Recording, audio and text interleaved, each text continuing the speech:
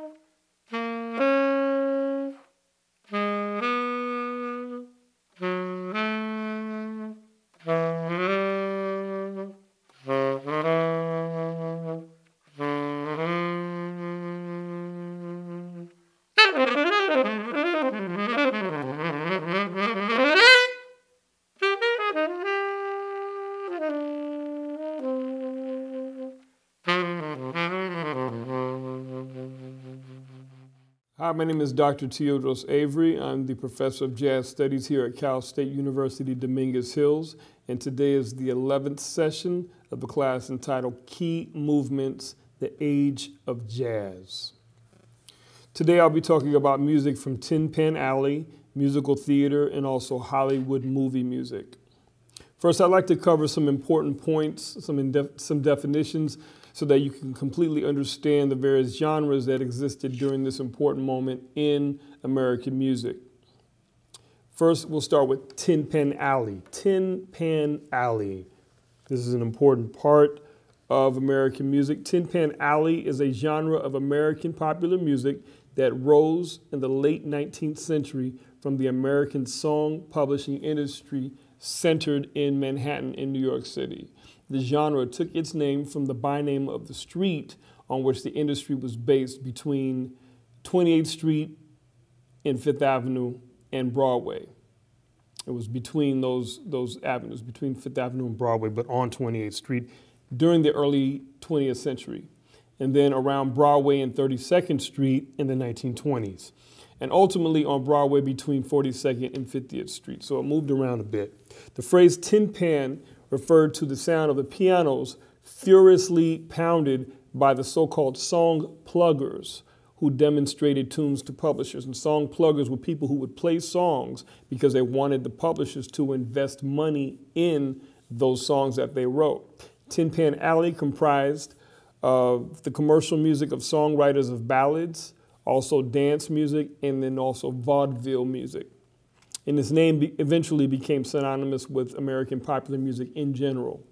When these genres first became prominent, the most profitable commercial product of Tin Pan Alley was sheet music for home consumption. So songwriters would say, hey, I got this song, listen to this song. Do you like this song? And if a publisher liked it, a publisher said, yeah, I like that song, and we're going to invest money in producing sheet music so that homes can purchase the music, people in homes that had pianos they could purchase the music and then they could play the music at their home. And so you can imagine people, you know, who had, you know, had a home entertainment of a piano, you know, the home entertainment system of the time. They said, well, we need music to play so that we can entertain our guests. And say, well, hey, I just got this sheet music in the mail that I bought or I went to a music store and I bought it, and we can play the song right here at home. So that was like the equivalent of today you have like, you know, people who have home entertainment systems and they stream, you know, you know, music or movies through their home, and everyone can sit around and, and enjoy it. That's what they did with Tin Pan Alley music, and that's why publishers produce sheet music for people to consume and to play at home. That was a whole business, and it was thriving. And song pluggers were constantly trying to sell songs to publishers so they could make money. The next area that uh, we want to understand is musical theater. Musical theater, also known as theater music, any music is any music designed to form part of a dramatic performance, as for example, a ballet, a stage play, a motion picture, or a television program. So we're just trying to understand the definitions right now. Um, included are the European operetta and its American form, the musical. Theater music is all composed to govern, enhance, or support a theatrical conception. So this music is used to assist what has been written for actors to act out. So this music is helping to bring out that story. music composed for the theatrical purposes obeys different laws than does the music for concert performance or a conventional opera. Whereas in opera, the music dictates the form in which the dramatic visual imagery is presented and governs its development. In other kinds of theater, the music is, at best, an equal partner among its principal elements. In concert, of course, the music is the sole factor that determines the experience. So know the difference between between the two. If you go to hear a performance of a, a, a musician or a singer or singer-songwriter, they're playing songs and they are the center of the attention, right? The songs are the center of the attention. When we're talking about musical theater, the actors and the storyline is the center of the attention, and the music is helping to assist and tell that story to the public and to the audience. So there's a difference there. You want to know that difference. Then we're going to talk about Hollywood music. We want to know what that means. Hollywood music. Music for Hollywood films. This industry grew out of the films that were created for mass consumption. And at the same time, it rendered the Tin Pan Alley industry obsolete. It took over, and Tin Pan Alley, uh, the Tin Pan Alley industry just lost lots of money. It lost lots of money. This is because Hollywood films created much more opportunities for songs to be used to generate income than just for home or theater use. Home and theater usage are industries which grew out of Tin Pan Alley and the musical theater areas of the music industry. So now you have songs that are in movies that are in theaters all over the country so people can actually go see a movie and enjoy the music that has been put into the music or placed into the to the film. So that's a different way of uh, enjoying music and it just really uh, the theaters attracted people to leave their homes and to go to a theater and see a story on a big screen and it really took off. So therefore people were not forced to entertain their guests and themselves at home. So you want to know why the Hollywood music uh, industry took off and left Tin Pan Alley in the dust. That is why. We're going to look at different composers, and the first composer we're going to look at is Irving Berlin. Irving Berlin was born Israel Balin on May 11, 1888, in the village of Tyumen in Russia. His family fled to escape the region's persecution of the Jewish community and settled in New York City in the mid 1890s. As a teen, Berlin worked as a street singer, and by 1906, he had become a singing waiter in Chinatown. His first published tune was 1907's Mary from Sunny Italy, with Nick Nicholson penning the music. As a lyricist, Berlin's name was misspelled as I Berlin on the sheet music. He decided to keep the name, becoming Irving Berlin. A few years later, Berlin would become a lyricist for the music publishing company Waterson and Snyder. He released a major hit in, 18, in 1911, Alexander's Ragtime Band, earning the nickname King of Tin Pan Alley.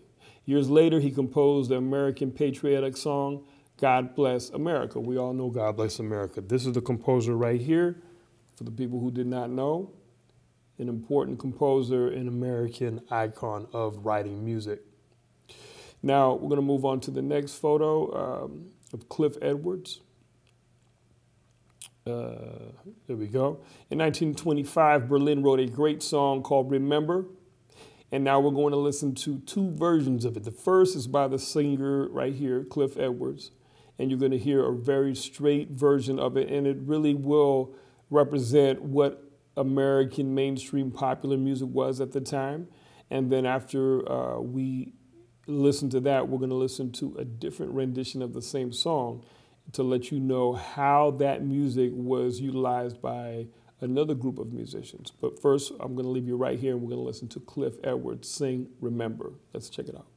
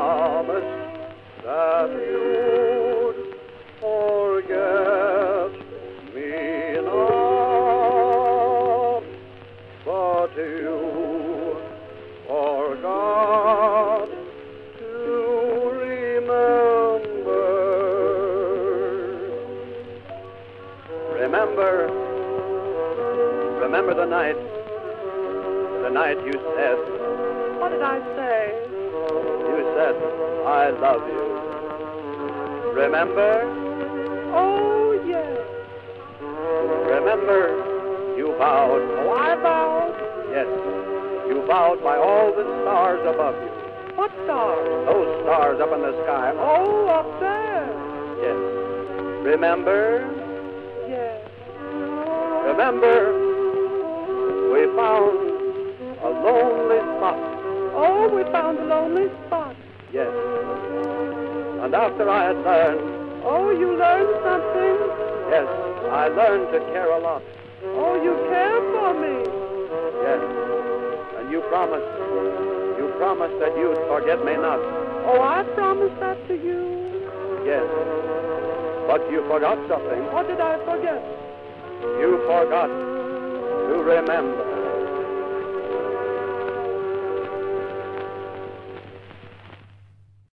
Okay, and just to let you know, that was um, Mr. Edwards doing the uh, the male voice and the female voice. So some of these guys were comedians, you know, and it came through in their performance and also in their song uh, performance as well. Now, this is an important moment to really understand. Now, a lot of jazz is uh, based off of original music that jazz musicians wrote. And then there's a lot of jazz that was uh, based off of songs that were written by people like Irving Berlin.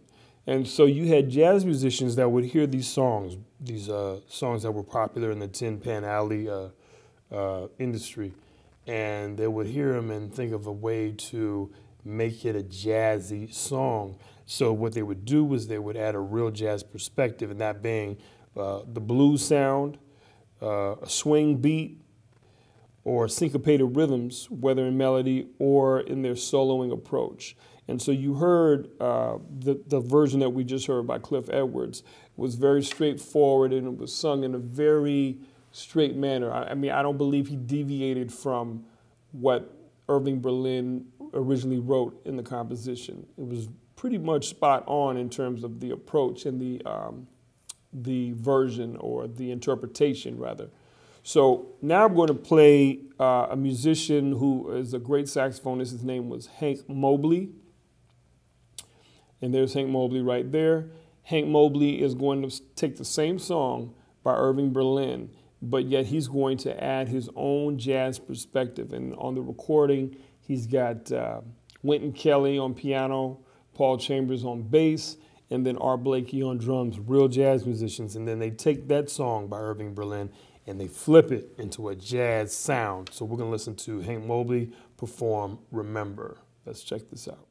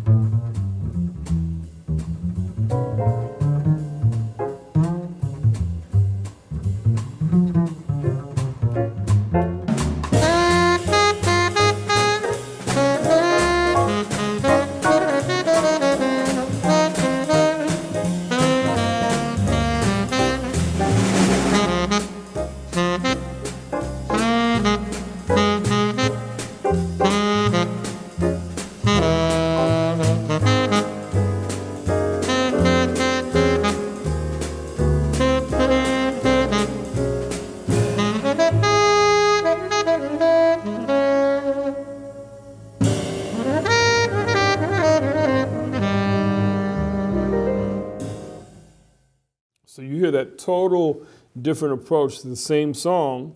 The melody's the same, but it's been jazzed up. So, students, you want to know that many songs uh, were borrowed by jazz musicians for them to create their own interpretations of those songs. And these songs that I'm talking about existed outside of the jazz composition pool of songs, but yet they were in Tin Pan Alley, in movie music, and uh, also theater music. And so we're seeing uh, the growth of jazz as it listens to and hears music outside of jazz, but yet the jazz musicians reach out and say, I like that melody, I like that song, and I want to make it a jazz song. So maybe, uh, or maybe not make it a jazz song, but influence it with jazz and make it a song that jazz, uh, jazz the jazz public can understand and appreciate. So that was a big part of the growth of jazz uh, during this time. Next, we're going to move on to Isham Jones. There's Isham Jones right there. Isham Jones led one of the finest dance bands of the 1920s and wrote many hits, notably the song It Had to Be You. Also, I'll See You in My Dreams. He also wrote Swinging Down the Lane and The One I Love Belongs to Somebody Else. He was born in Coalton, Ohio, but grew up in Saginaw, Michigan. The September 23rd issue of the sheet music publication Melody includes an article about his early years. The article itself is based on an interview Jones gave to the Boston Post. He had worked in coal mines. This is what he spoke about in that interview. He worked in coal mines leading blind mules. Jones's father, originally from Arkansas, played fiddle and was an important musical influence on Jones. The son took up fiddling and led a small band at the local Methodist church. He even played fiddle at work while driving his mule with this string of coal cars. Pretty unique to see that, right? A guy, a guy telling these mules, donkeys, to go, you know, carry this uh, coal, and he's playing violin at the same time. So he was obviously a musician from the root, from the beginning. His attention to his instrument evidently distracted him enough for one day for a train to crash into a shaft door, frightening him so much that he never returned to the coal pit. He devoted himself to music from that point on. A Saginaw music publisher was first to print sheet music bearing the name Isham Jones. His earliest known published composition being Midsummer Evenings from 1906. He would not enjoy success as a composer for another dozen years. So he put in a lot of time and waited around until he got another hit. And eventually his hit was It Had to Be You. So now we're going to listen to his original version of It Had to Be You with his orchestra, the Isham Jones Orchestra. And you're going to hear the original version of this song that became very famous, and we've seen it sung by different people. It's been in movies and things like that. But this is the original form of it. So let's listen to Isham Jones. It had to be you.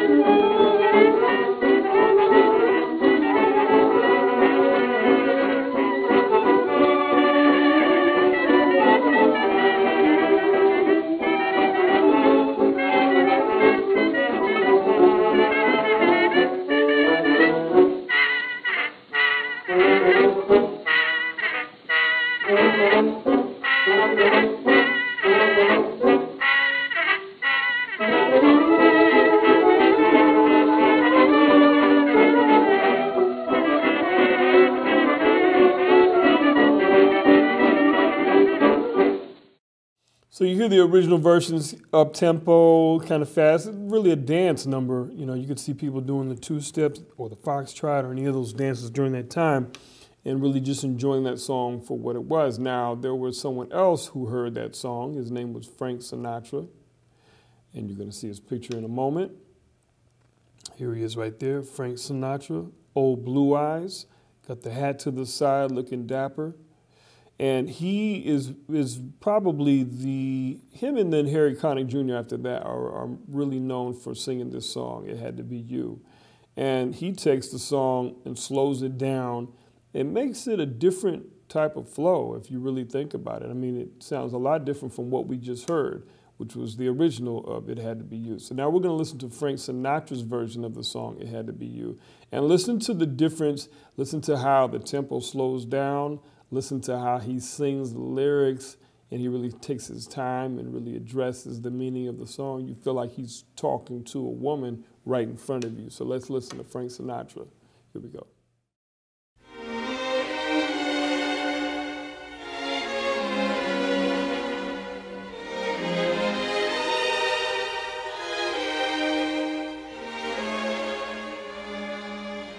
Why do I do just as you say?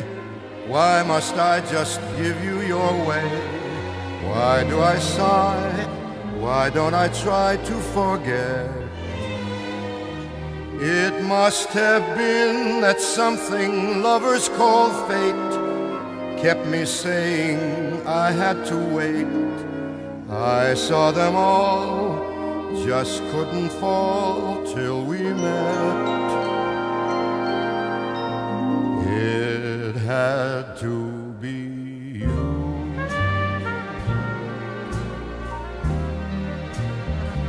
It had to be you.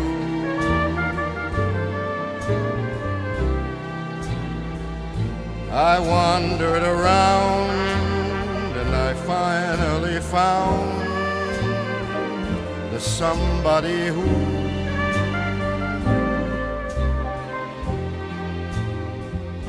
make me be true. And could make me be blue. And even be glad just to be sad thinking of you. Some other I've seen might never be mean, might never be cross or try to be boss, but they wouldn't do.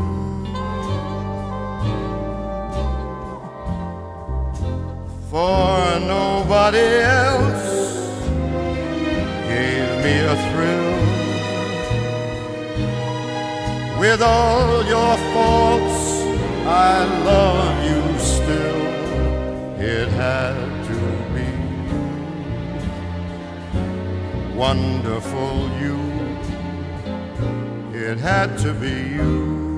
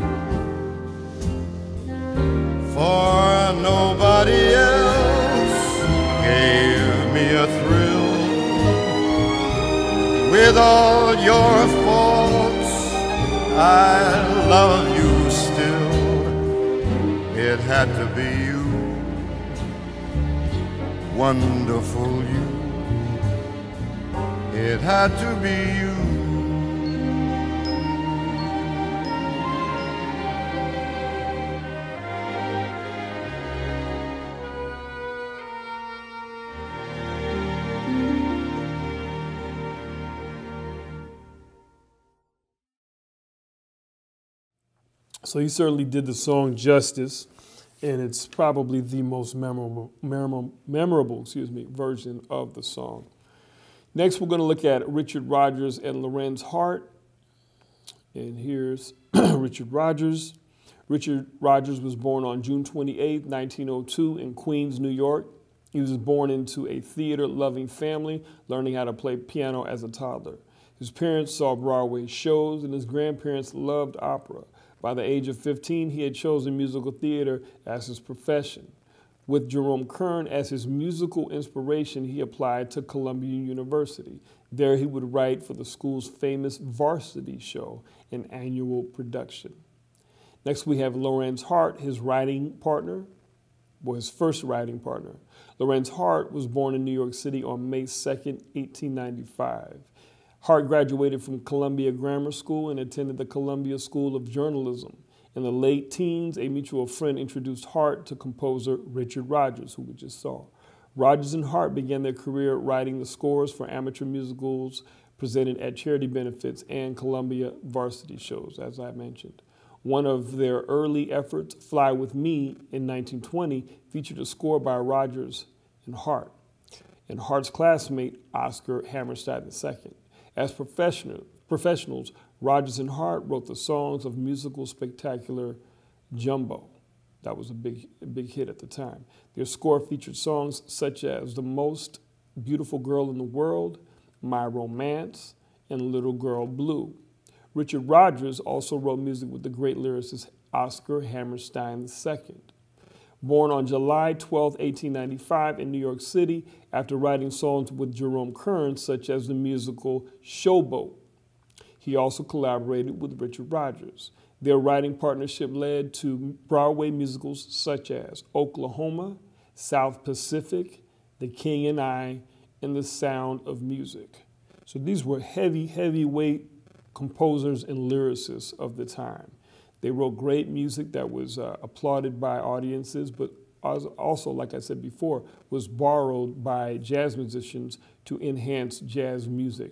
So um, they are important to both audiences, I guess you could say, to the to the musical theater audience and also to jazz music. so now we're going to listen to Frank Sinatra and Dinah Shore, and they're singing a duet. The duet is "My Romance." And you're going to hear an early version of the song, and then we're going to go to a later version, and you're going to hear a different approach to the same song. So let's start out with Frank Sinatra and Dinah Shore.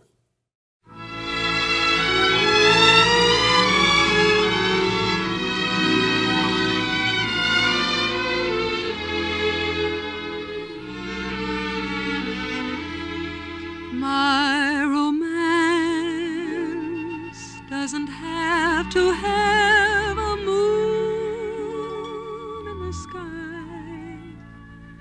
My romance doesn't need a blue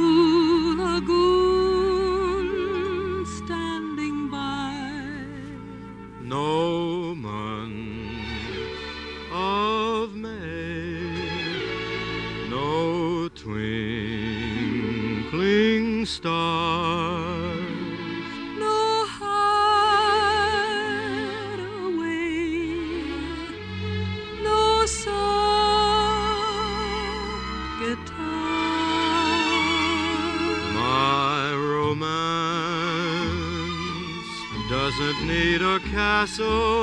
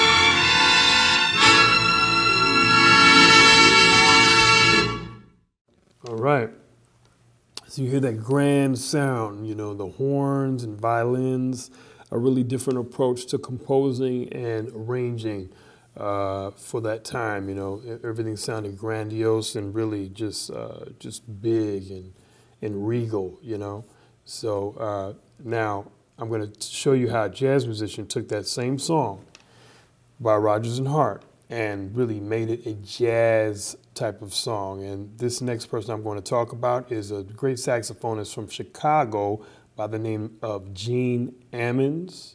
Uh, he was a very popular saxophonist during the 50s. He was part of the Chess Records family in Chicago, and that family included Muddy Waters, uh, Etta James, uh, Howlin' Wolf, Little Walter, all those people. He was a saxophone player on the label. He had a big sound and he knew how to slow it down and really make it just silky smooth like it was nobody's business. A real balladeer on the saxophone. And here he's going to play the Richard, uh, the Rodgers and Hart classic, My Romance. Let's listen to him bring it down, tone it down, and really play it in a smooth way. Here we go, My Romance.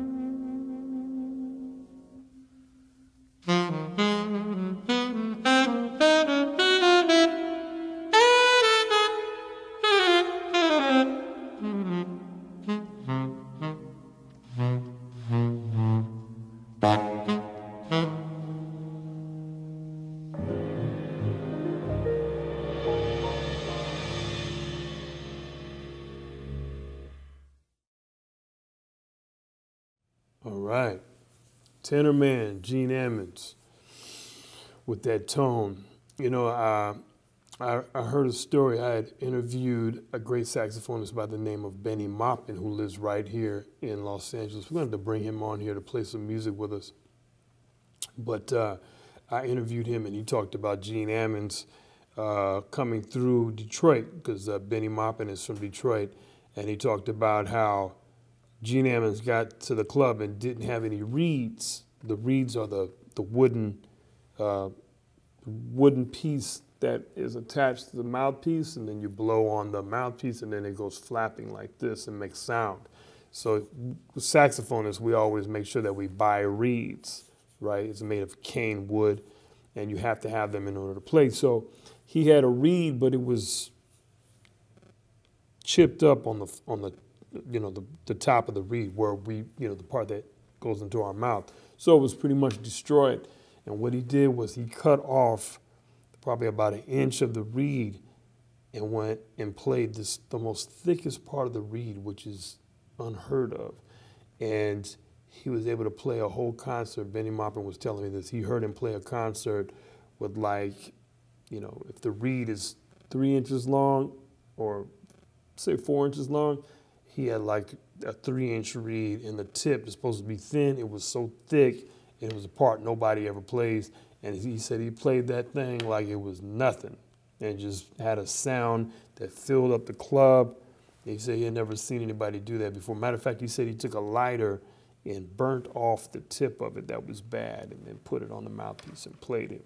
So these, these were real, real musicians and uh, you know, they would make do with whatever they had to make the music.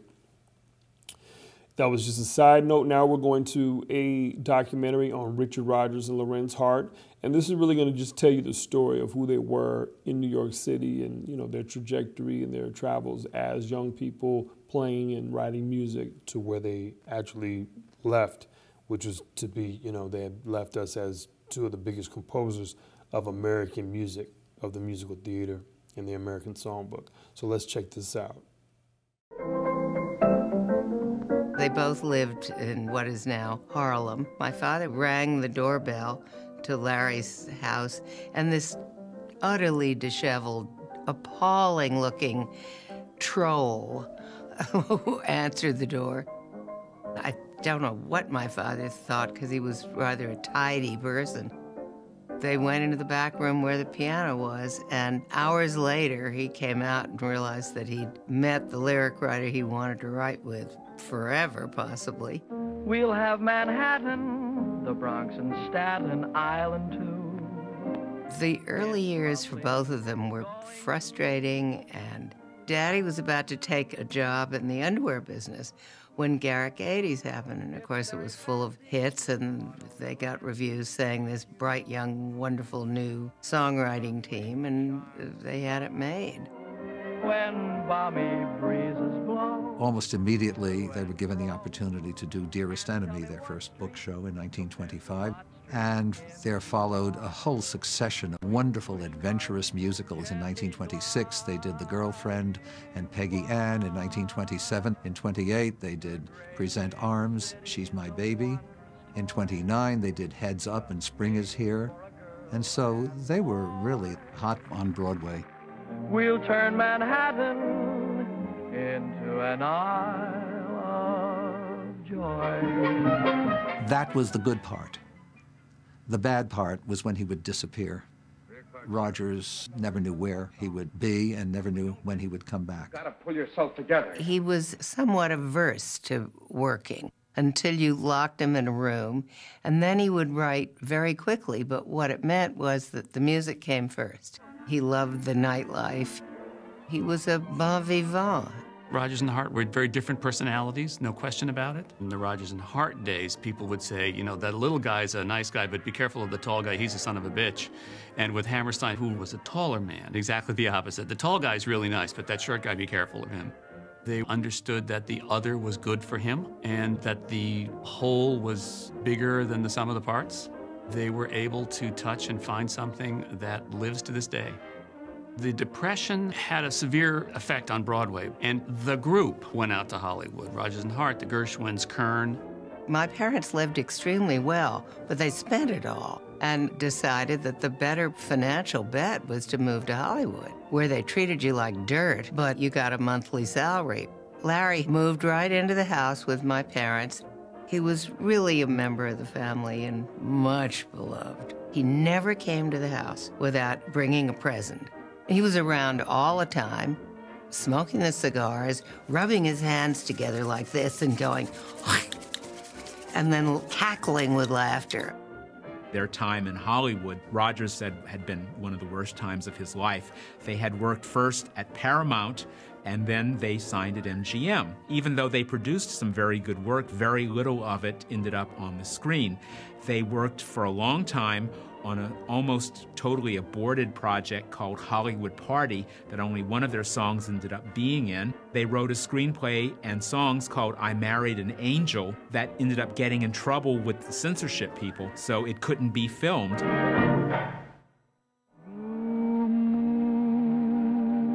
They also did one of their big hit songs for MGM at that time called Blue Moon, but it wasn't called Blue Moon for quite a long time because it kept changing. First, it was in Hollywood Party, then taken out of that.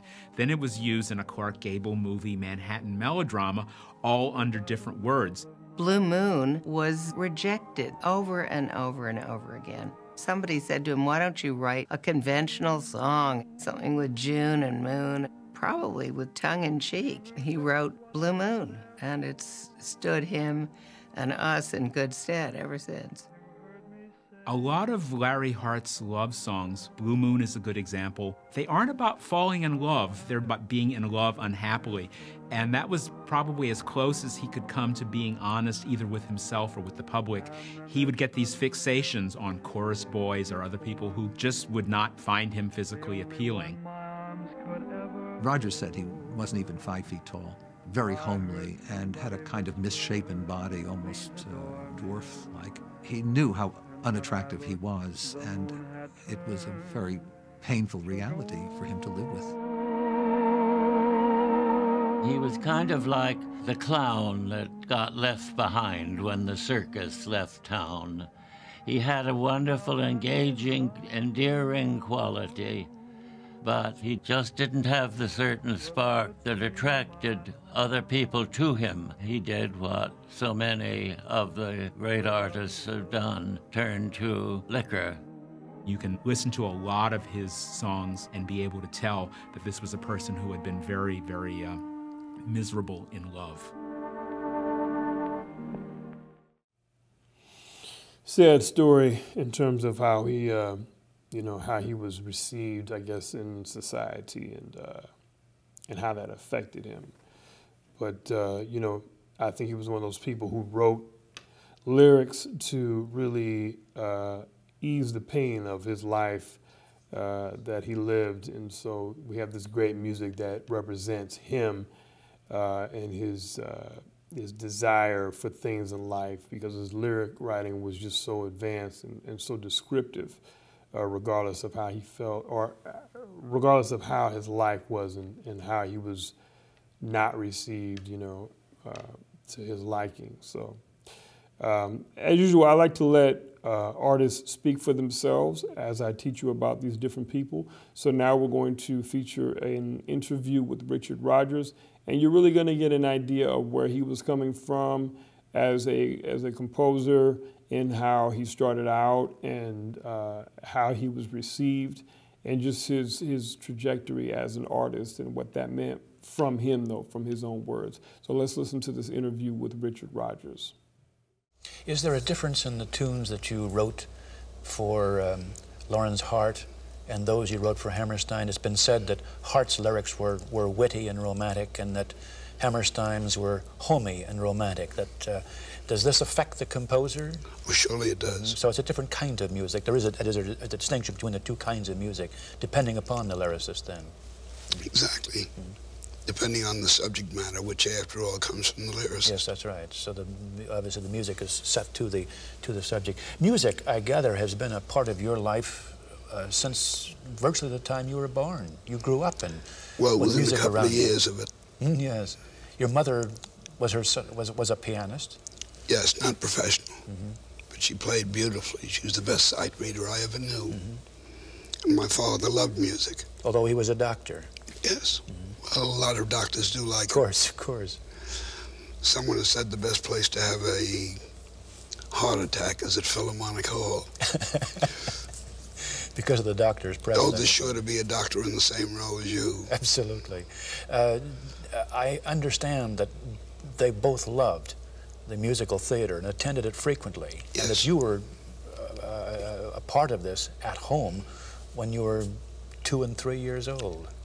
Well, the piano was where we met before dinner, and it's where we went after dinner. And there was music every day, every day, every day. And curiously, it was show music. It was show music. Yes. Do you recall the shows? Yes. Merry Widow was a little early for me to recall, mm-hmm. but shows like Chocolate Soldier, Pink Lady, a great many of them. I can picture the the score. They always sold the printed score mm-hmm. in the lobby of the theater, and my parents used to buy it and bring it home, and up it would go on the piano. And my mother would play it again and again and again, starting with the overture.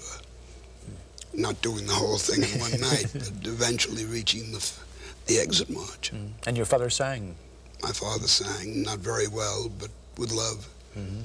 Did you, as you were growing up in those early years and taking the piano, your, not taking the piano, but playing the piano by ear, did you have your own favorite composer that influenced you at all? Not, not in the early years. Mm-hmm. Uh, I had to get into my early teens before I had a favorite. And who was that? Jerome Kern. Mm-hmm. I think he was the father of a lot of us. Mm-hmm. He started the whole thing going. You were playing the piano at the age of six, were you not? Well, I was trying to before that. And, and before that, at three, you played with one finger, I gather. So apparently, it came quite natural to you to pick up tunes easily and to, to play them on the piano. And you were composing tunes at the age of what, nine? Or around in there, I don't remember exactly. But I was very young. Mm-hmm. Do you recall what your first composition was? Well, it was something called the Auto Showgirl. Do you, do you, do you remember today how that tune goes? I'm afraid I do. You were, what, 14, 14 years old when you About composed 14, that? huh? yes. Was Was that for an auto show? No, it was about an auto show. Oh, I see. See, in those days, you tried to pin a song on something that was going on. Mm-hmm. And the auto show was a yearly event, and that was a natural one. You were also composing, uh, as I recall, in, in, the, in the camp where you went in Maine about the Oh, same yes. time. Campfire Days.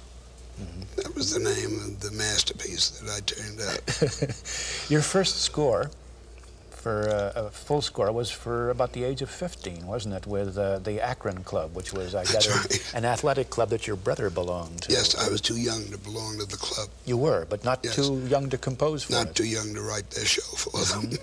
And then what? Your your your, uh, the, your next show was at uh, with uh, Hart, was it not? About the age of 16. When did you first meet?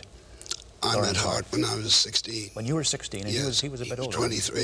Mhm. Where did you meet? We were introduced by a mutual friend. Fellow knew that Larry needed a composer and knew that I needed a lyric writer.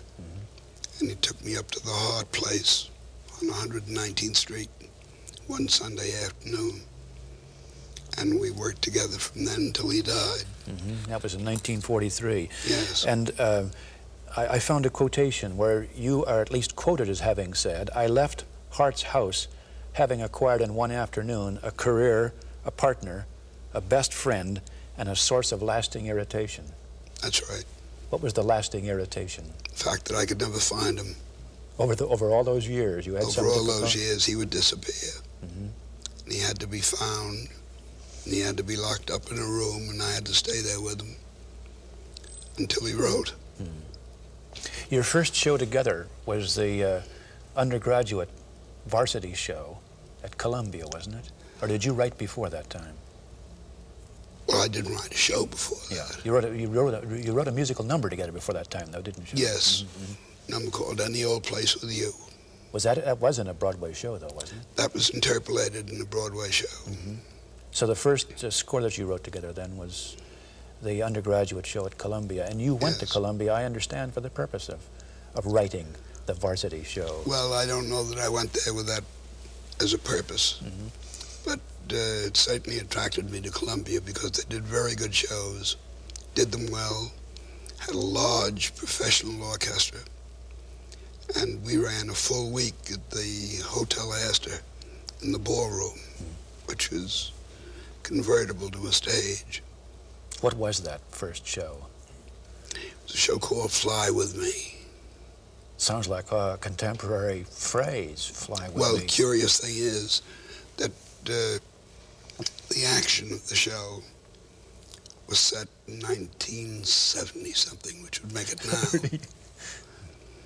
this was our idea of what uh, the world would be like 50 years from then. That uh, show, uh, uh, Fly With Me, was, the, was an opening for both you and Hart, was it not? Uh, through uh, Lew Fields. That's right. He produced a show called The Poor Little Ritz Girl, R-I-T-Z, Girl, and uh, used our score as a basis for his his show, and then I had to share it You had to share it. with Romberg. Sigmund Romberg. Yes, And that was the first show that was the first professional show. that, that you that you did, and that Yeah, but I was pretty old by then. I was 17. 17, Yeah. your first professional show went on Broadway. Yeah. But then uh, after that, you you were riding pretty high at that point. After that, there were some some leaner years, were there not? Well, they were leaner in, in a monetary sense. And uh, professionally, I was happy because I was going to the Institute of Musical Art, which is now the Juilliard, and uh, studying theory. Is this the first time you studied music in a formal sense? Yes, After you'd written your first Broadway show? yeah. hmm Why I did you study? What did I? Why? Why did you go to school to study? Well, to begin with, I wanted to learn the names for all the things I'd been doing all my life. No, I went there because I wanted to learn music. Just being able to write some tunes didn't seem to be enough. And I went there and I learned more at the Juilliard, the Institute, than I ever did in high school or college. How long were you there? Two years? I was there three years. Three years. You know, the uh, second two were on scholarship. And then during this time, you were not writing any successful Broadway plays. No, I couldn't get one. Couldn't get one. I was trying. Is it true that you almost took a job as a children's underwear salesman at this point? Because Yes. Yes, a nice man offered me a job working for him. And uh, the salary was $50 a week. that looked good then, I suppose. That was tremendous then. And uh, I told him I'd let him know the next day. And that night, at home, I still lived with my folks, of course. Uh, I got the offer to write a review for the Theater Guild. And I took it. Yes, that's a, a very in-depth, uh, in-depth interview with him, and you really get an idea of where he was coming from as a composer. It's great information, and uh, he really gets to tell you how he feels about music unscripted, and that's very important to really understand, you know, this music and what it meant to them and why it was successful uh, in American music. Next, we're going to look at Irving Berlin playing on a television show. And uh, one of the things that uh, he did was he only played in one key. But what he did was he had his piano altered so that he could hear his playing in different keys without, without having to actually play in different keys. So, uh, for non musicians, just to explain to you, musicians have 12 different keys that they can play in, right?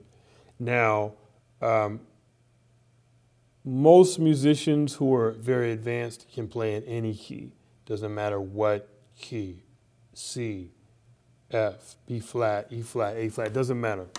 And then you have some musicians who are limited in their approach, but they are great songwriters and they can also hear melodies very well and they can write uh, songs that have great chord structures that accompany those melodies. So Irving Berlin was one of those people. He was a person who could hear very well, he could write very well, but he was limited as a piano player. So he had, like I said, he had his piano altered.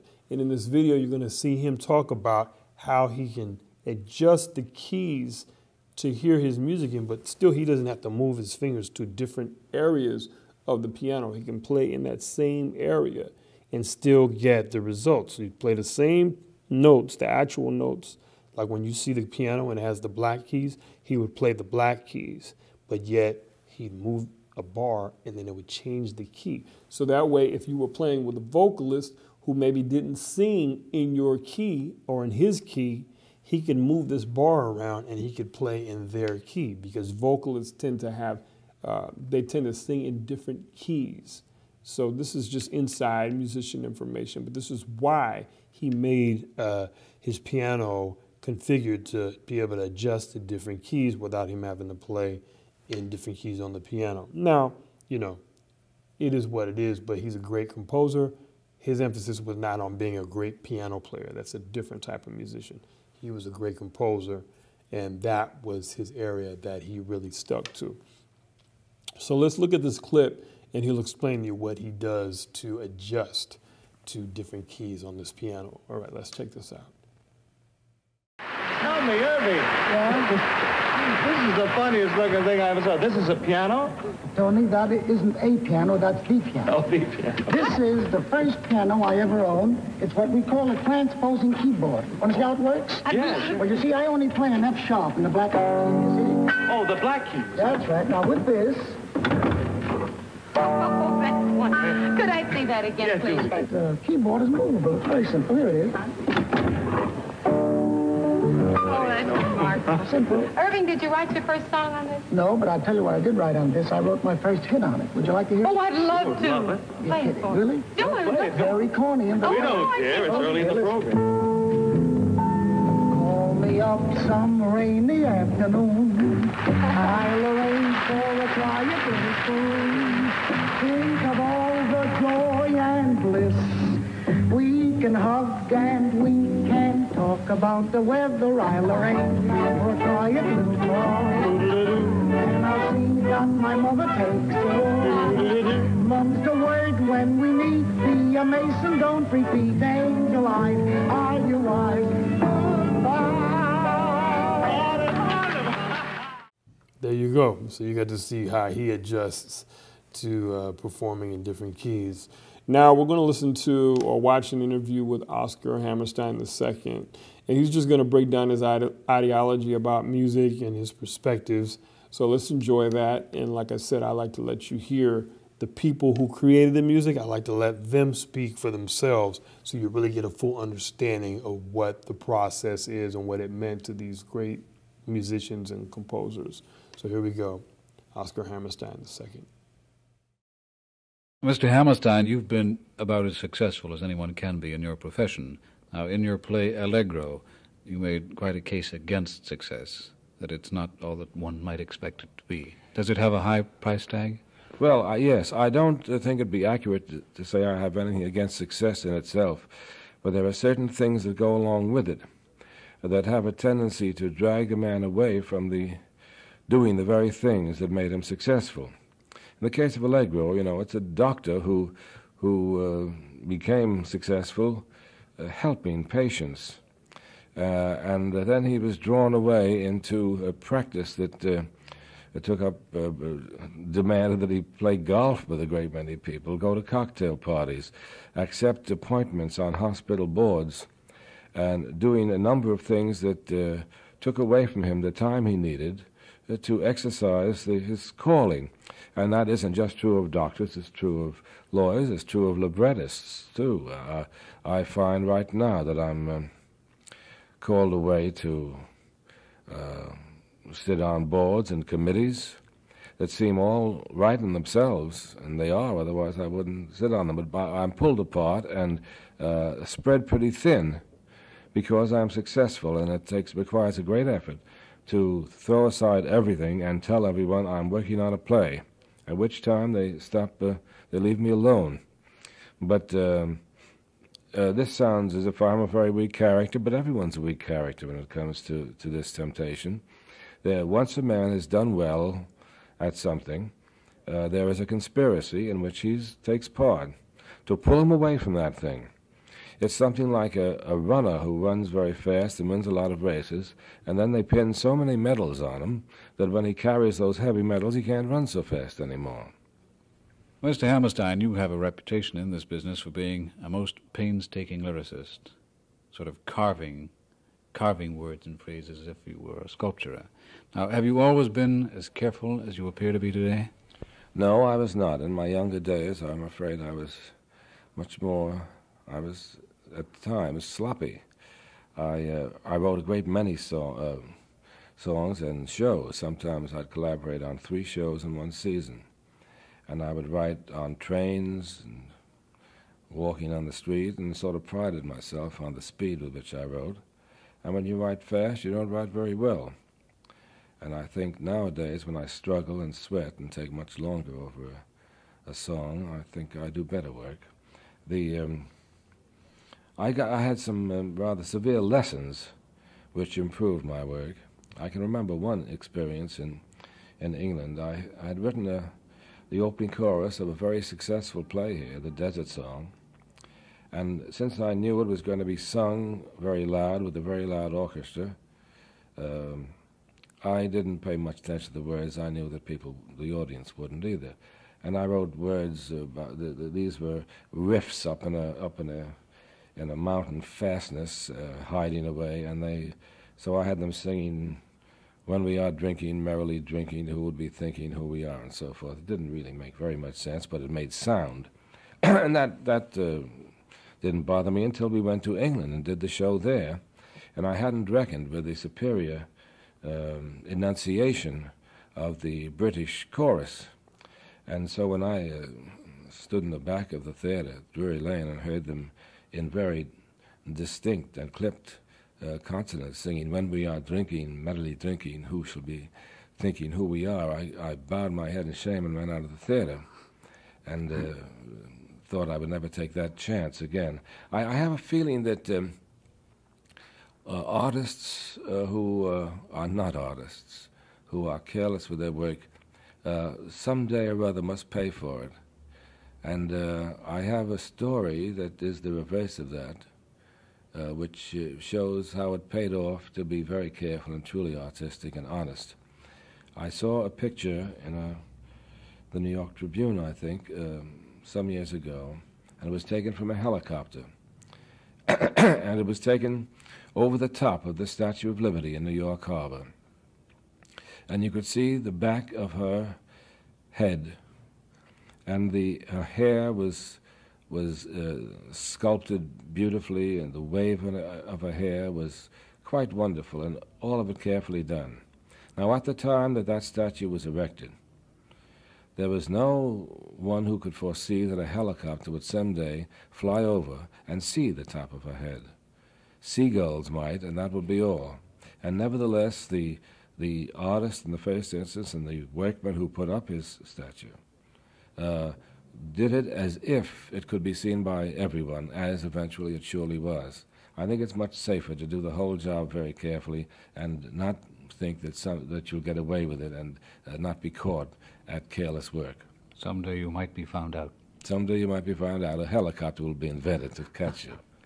I think the average person thinks that authors, poets, lyricists, composers are inspired in their work, that they work only on inspiration. They're suffused with bright flashes and hot flushes of inspiration. Now, all creative people are quick to deny this, but tell me, is there anything at all to this inspiration business? Well, no, not if you mean your question the sense of uh, what you call the quick flashes. I don't think that ever comes out of a clear sky with a message that makes you rush to a a desk and write down feverishly what has just come to you. I think ideas come to you because you're looking very hard for them and you're at work. And uh, in one sense, however, uh, I think that you can justify the word inspiration. I think that things stay in your mind, things that you saw or heard or felt years ago. And when you're writing and calling on all that is you, all that's part of you, your life, your experiences, your reaction to life, uh, something that happened to you some time ago, someone you knew, uh, comes back into your mind and inspires you to um, write perhaps a truer version of whatever story you're working on. But what annoys me, and I think most writers, is the feeling that scenery or the sight of a beautiful girl or a moon on the water will make you write. As a matter of fact, these things are very likely not to, uh, to stand in the way of your writing because they're so beautiful in themselves that they're better than anything you can write. Uh, last year, I started to write the, the Sound of Music at Jamaica. We have a little cottage there, in Montego Bay, and the way I got work done was to get up in the morning and start as usual at nine o'clock. But before I started, I closed all the doors so that I couldn't look out over that turquoise blue sea. If I could have, I couldn't have written at all. Uh, but so often people say, with a view like this, you ought to be able to write beautifully. They say this on the porch of my farm, and I always try to tell them that the thing to do is to shut out a view if you want to go to work. You give the impression of being a rather gentle and philosophic kind of man, and so much of your work has this gentle philosophy in it. Is it true to say that the lyrics you write really express your own feelings? Yes, I think it's true of any honest writer that the uh, the things he writes expresses his own feelings, even though he's often writing uh, words for characters who are not like him at all.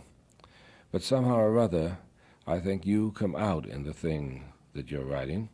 When I was young, I didn't believe this. I thought that musical comedies were one thing, and uh, uh, just uh, things designed for entertainment.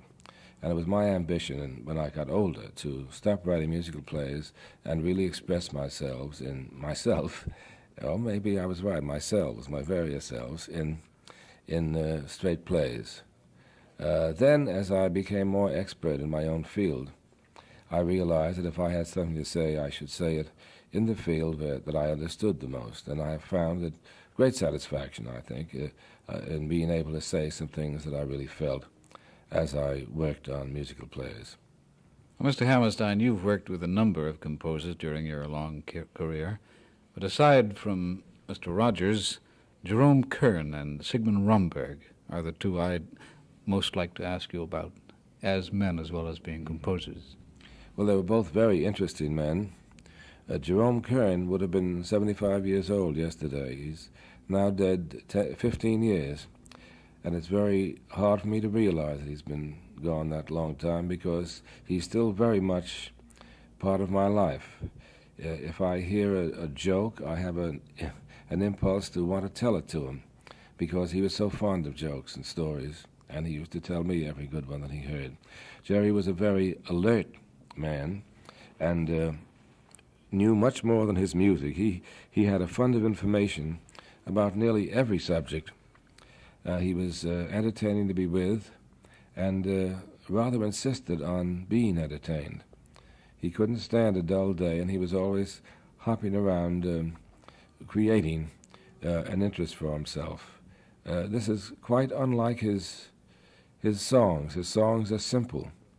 His, a, a simple, straight melody line is what features his work, and yet he was a very complex man and his life was complex. Uh, uh, his days were complex.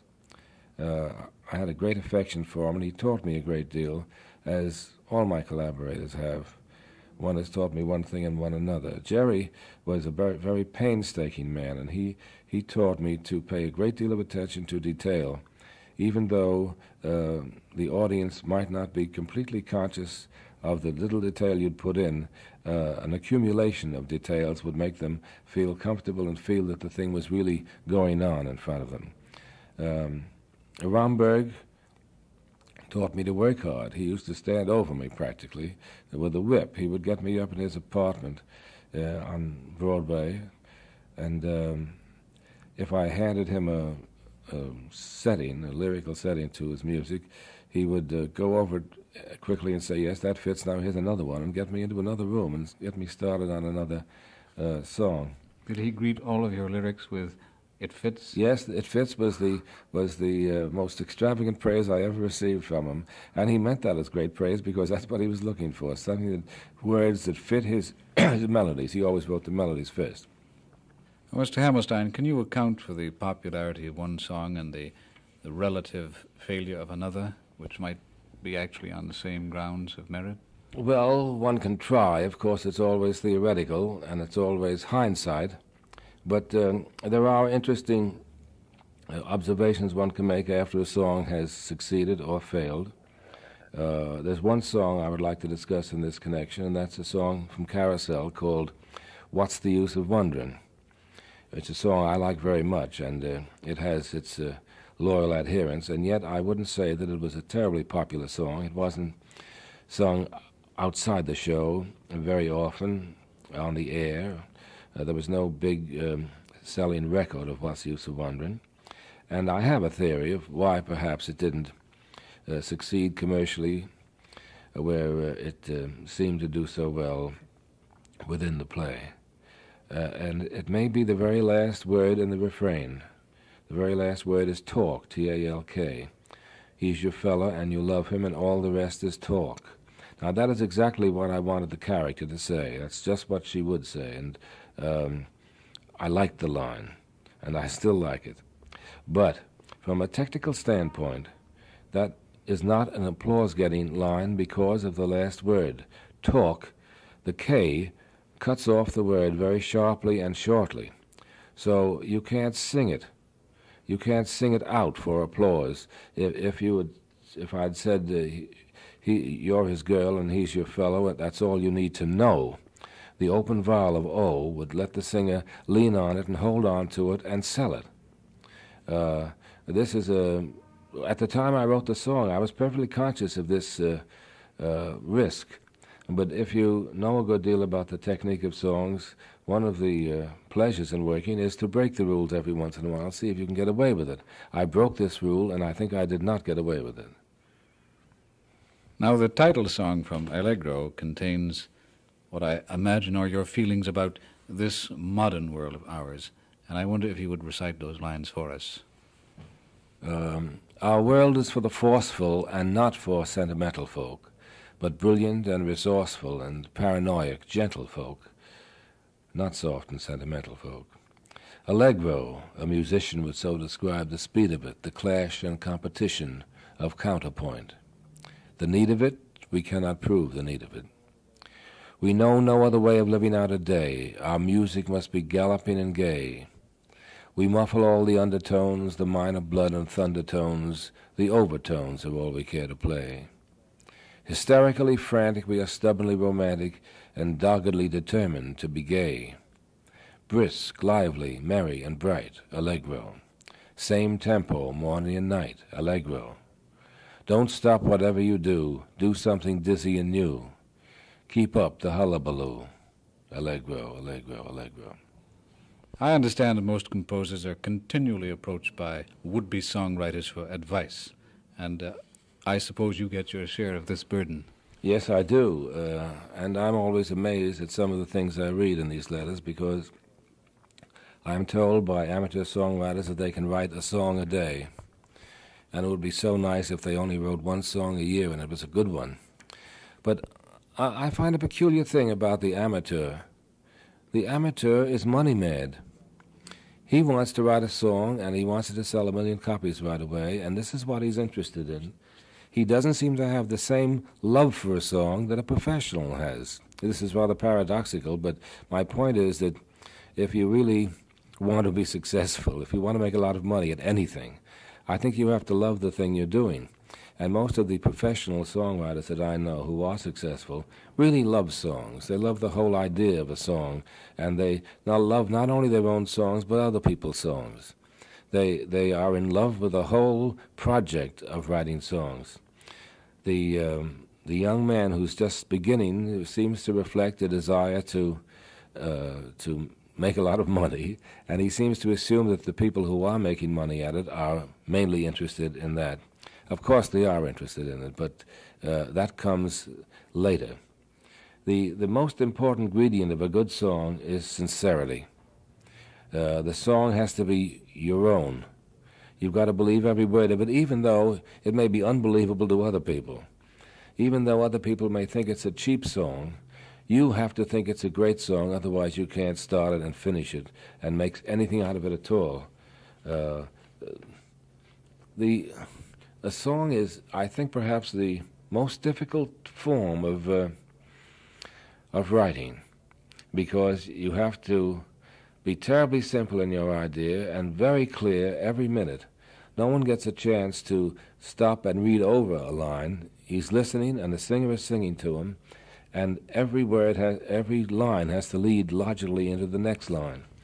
I think it's a it's a very severe and rigid form, but a fascinating one to work on. Uh, the basic rules, of course, of anything are usually uh, usually seem simpler than they are. For instance, the golf instructor says, "Keep your eye on the ball," and you say, "Oh, sure, I'll do that. What else do I have to do?" But the longer you play, the the more you realize how difficult it is just to keep your eye on the ball. If you do nothing else but keep your eye on the ball, you've got a pretty good chance of hitting it. But the the beginner uh, is more interested in what kind of stockings he wears on the golf course and how he looks and the jaunty way he walks up to a tee. Uh, the real professional has his mind on the simple job of the ball he has to hit.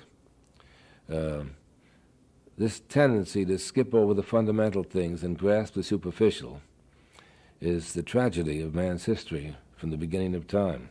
The songs that uh, have achieved permanent popularity all have something fundamental to say.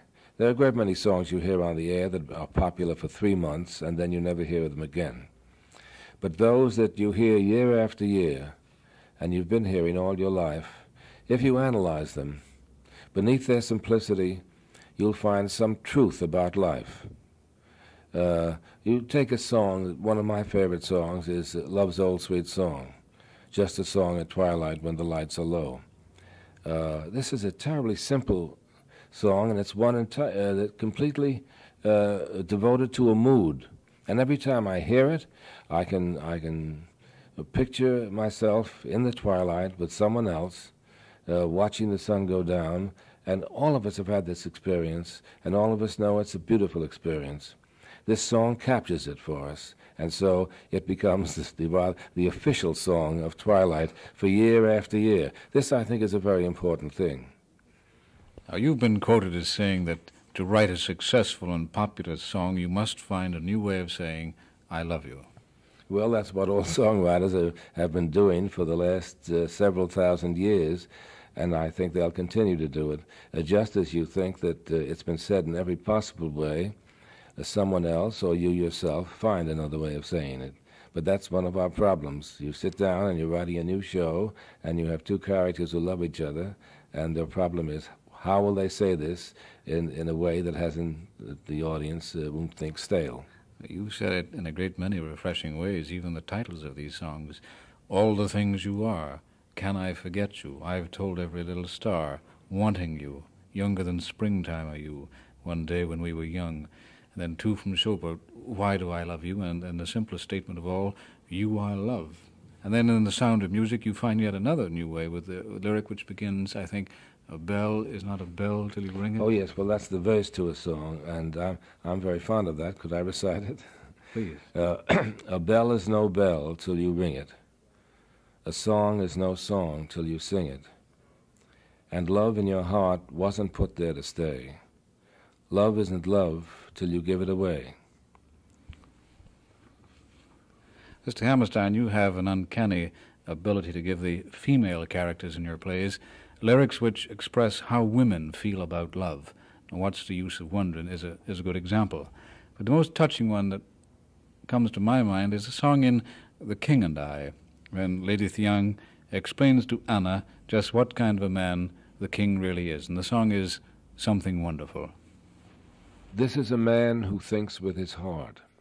His heart is not always wise.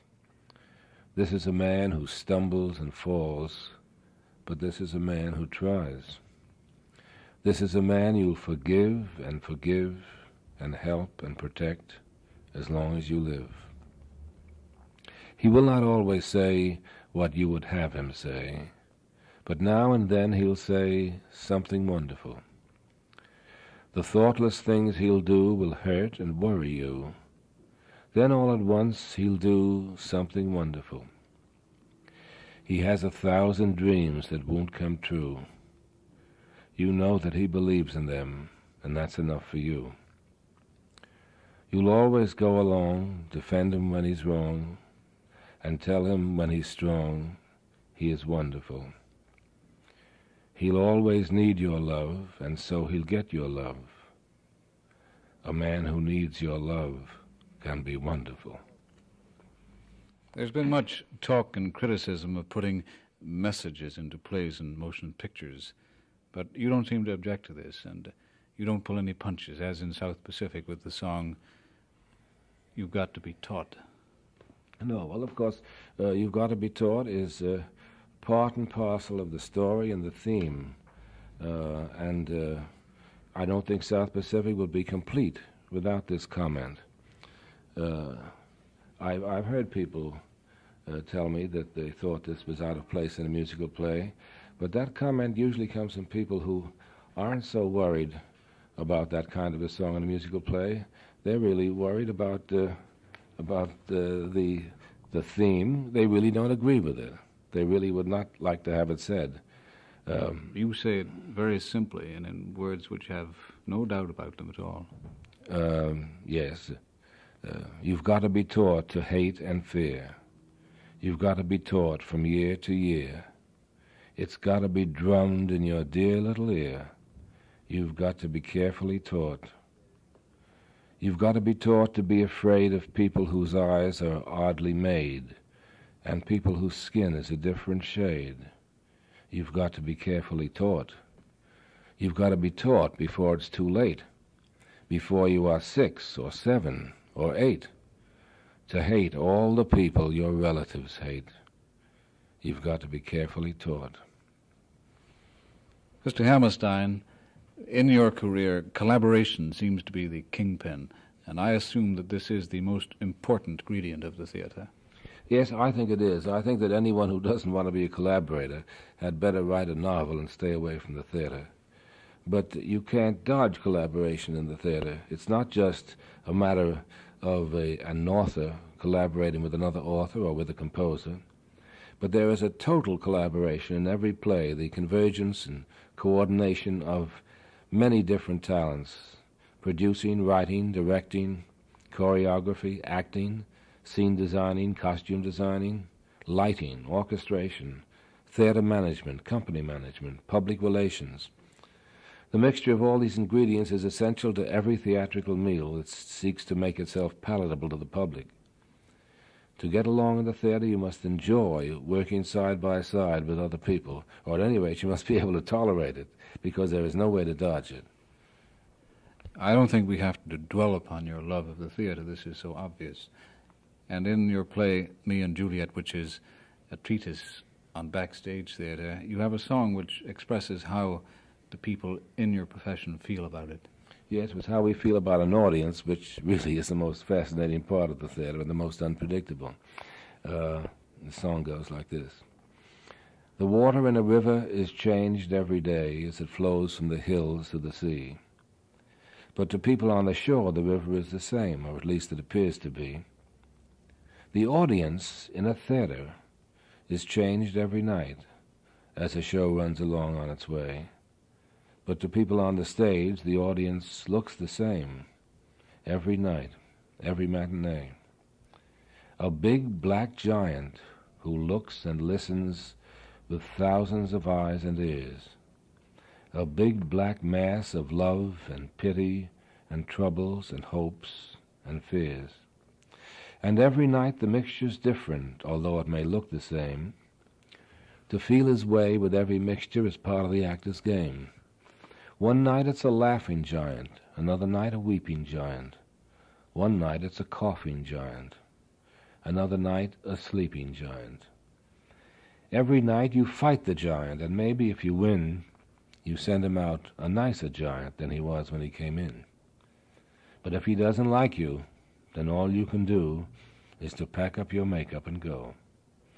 For an actor in a flop, there isn't any choice but to look for another show. The big black giant who looks and listens with thousands of eyes and ears, the big black mass of love and pity and troubles and hopes and fears will sit out there and rule your life for all your living years. And in Carousel, during the song If I Loved You, the hero, Billy Bigelow, explains On a night like this, I start to wonder what life is all about. Well, Mr. Hammerstein, you're obviously a man who's thought much on that subject. Now, have you reached any conclusions? Uh, no, I don't think a man who gets as old as I have become uh, can say he's reached any conclusions because he becomes more and more puzzled and more and more fascinated by the mystery of life as he goes on living. I, my own feelings about life are toward the optimistic and hopeful side. And I don't know whether a man works out a philosophy or whether his philosophy emanates from his nature. But whether that's true or not, I think it's terribly important that some people like me must exist to keep affirming uh, the beauties of life, uh, to offset others, even more eloquent perhaps, who are decrying life and scoffing at it and telling you what's wrong with it. Uh, surely there are things that are wrong, but then we must also admit that there are things that are right and beautiful and make, make it wonderful to be on earth. And uh, this if it isn't my mission, is at least one of my chief aims. Uh, there are certain significant things in some of the songs I've written uh, that indicate my views of life, perhaps more eloquently than uh, my own uh, stumbling efforts to describe my views. Uh, at the end of Happy Talk in uh, South Pacific, uh, Bloody Mary says, um, You've got to have a dream. If you don't have a dream, how are you going to have a dream come true? I think this is a good reductio ad absurdum. Uh, obviously, you can't ever have a dream come true unless you have a dream to begin with. And people who deny themselves the privilege of dreaming are bound to failure, uh, doomed to failure. The dreamer, too, may fail, but he has a little chance of success, a little chance of a dream coming true once in a while. Uh, other songs that I've written, like You'll Never Walk Alone, which assert that courage is necessary, courage in adversity, are things that I believe very deeply, very genuinely. In, uh, in The Sound of Music, Climb Every Mountain, is is another uh, instance of what I believe uh, uh, that uh, you should devote your life to finding out what you want to do in life, uh, and then when you find it, live live that dream that you find, and look everywhere until you find it. I think that if there, I think that today perhaps we lack this positive approach that uh, there are a great many uh, songs and articles and novels, stories coming out of America that are on the sick side and neglect the great health and hope which has always been our real characteristics and the and the characteristics that have uh, made us a great country. If we uh, neglect these, we will soon slide back into being far inferior to what we have been. In other words, the world is quite a wonderful place. It's not perfect, but uh, as I say in the Flower Drum song, a hundred million miracles are happening every day. And those who say they don't agree are those who do not hear or see. A hundred million miracles are happening every day. All right, it was very informative. And uh, I would like to remind you to uh, do this if you're a musician and you are interested in studying music. Please go to our website, which is www.csudh forward slash music. And if you want to apply to our music program, please come and check us out. We're doing some great things, making some changes. Our department chair, Dr. Scott Morris, is, is really plugging away at making some changes here at DH, and uh, you could be a part of those changes. He's doing some great things, and uh, we want to invite the musicians to check us out and inquire about maybe taking classes or attending uh, the program here. Also, I would like to let you know about my website, which is www.teodrosavery.com, and you can find out about me and where I'm playing. There's uh, my bio, there's music to purchase, and uh, you can go up and view my calendar and find out when I'm playing in Los Angeles or anywhere else because I play internationally. So you can check that out as well. And uh, that's pretty much the deal for today. And that concludes this session of session 11. And we will see you at session 12. And we want to thank you for watching. And students, make sure you take good notes so that you can have a lot of good, good information to study for the tests. Okay? Don't forget that. I don't want that to sneak up on you later. All right. Thank you so much. We'll see you at session 12. Bye bye.